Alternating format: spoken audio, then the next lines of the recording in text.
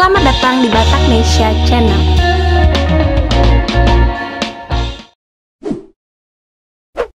Indonesia memiliki keberagaman budaya dan adat istiadat.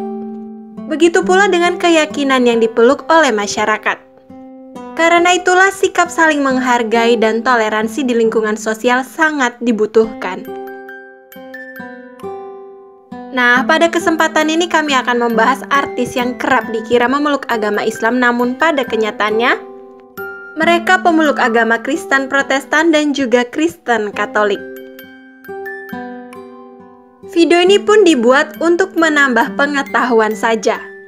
Jika kamu tidak berminat, silahkan skip dan jika penasaran, mari simak ulasan berikut ini.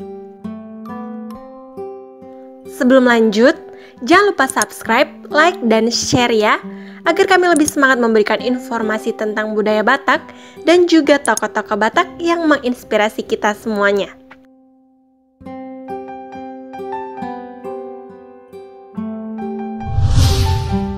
Chelsea Islan Memiliki nama lengkap Chelsea Elizabeth Islan, kelahiran Washington DC, Amerika Serikat, pada tanggal 2 Juni 1995 adalah seorang penganut agama Kristen Katolik.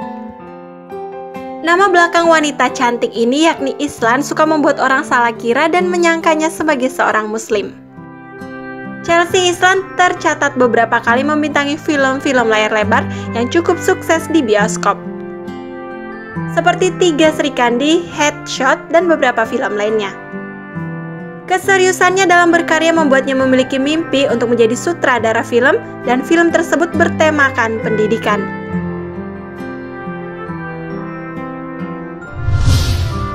Natasha Wilona Nama Natasha Wilona mungkin saja sudah sering kita dengar. Ia sudah membintangi berbagai judul sinetron. Tidak hanya itu, ia juga menjadi peran utama di berbagai sinetron tersebut dan tampil dengan apik. Tidak hanya muda dan berbakat, Natasha Wilona juga dikenal dengan wanita yang bekerja keras dan menyukai dunia bisnis. Bisnis yang ia tekuni antara lain bisnis kue bernama Natasha Wilona Favorite with Domino Cake dan bisnis kecantikan. Gadis cantik kelahiran Jakarta 15 Desember 1998 juga dikira banyak orang beragama Islam. Akan tetapi pada kenyataannya peraih penghargaan aktris terbaik SCTV Award pada tahun 2017 ini adalah penganut agama Kristen Katolik. Olivia Jensen Lubis Olivia Jensen adalah salah satu artis berkebangsaan Indonesia. Ia lahir di negara Denmark pada tanggal 11 Agustus 1993. Sempat berpacaran dengan Afgan dan terlihat suka mengikuti kegiatan orang-orang Islam seperti berbuka puasa dan berbagi ke mereka anak yatim. Hal itulah yang membuat orang mengira kalau artis cantik Olivia Jensen adalah seorang muslimah. Padahal semua kegiatan itu dilakukannya hanya karena toleransi dan senang berbaur dengan mereka teman-teman yang beragama Islam. Hal tersebut tidak mengubah keyakinannya untuk menjadi seorang Nasrani yang taat. Semua itu ternyata sudah dilakukannya sejak kecil dan dirinya senang ketika harus meluangkan waktu dan berbagi kebahagiaan dengan siapa pun. Walaupun mereka beda agama sekalipun.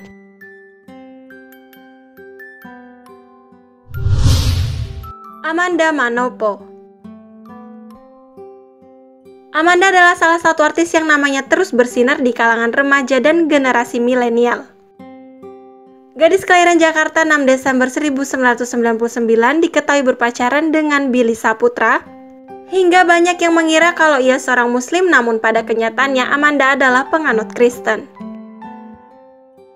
Sejak kemunculannya pada tahun 2012 ternyata Amanda pernah mencoba peruntungannya dengan menjadi seorang penyanyi.